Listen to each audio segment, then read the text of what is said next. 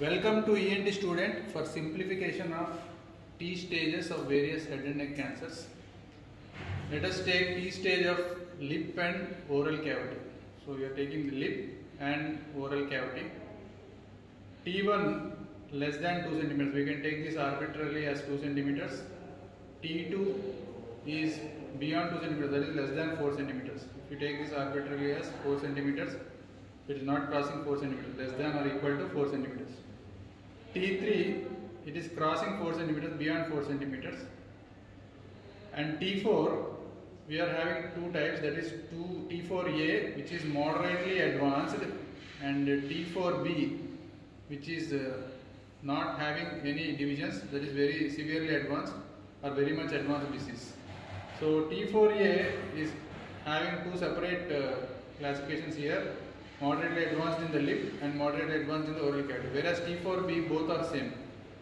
So once we try to take moderately advanced T4A in lip cancers, so lip is there here, this is the lip that is there. From there it is extending into a bone, cortical bone. Number one, cortical bone. From there it is extending into floor of the mouth. Number two is floor of the mouth. From there it is extending into the inferior alveolar nerve which is there in the mandible, inferior alveolar nerve.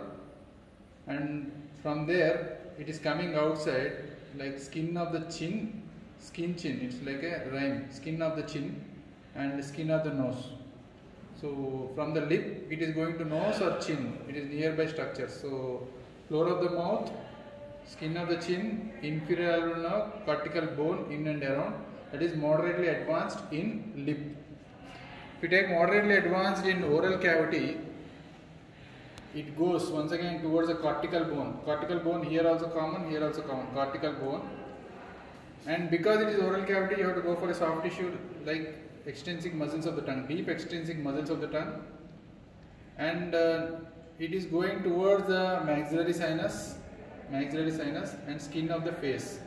Skin of the face. Here it is skin of the nose, here it is skin of the face. Because these are all arbitrary divisions. That is T4A. And T4B if you take, more common for more of the neck tumors, lip and oral cavity. So first to remember here is internal carotid artery, fix it in your mind. Internal carotid artery, encased internal carotid artery. And skull base is involved and pterygoid plates are also involved. Skull base and pterygoid plates.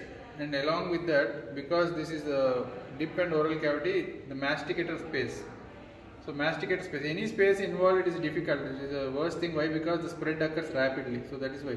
Hard ones are given T4A like cortical bone etc.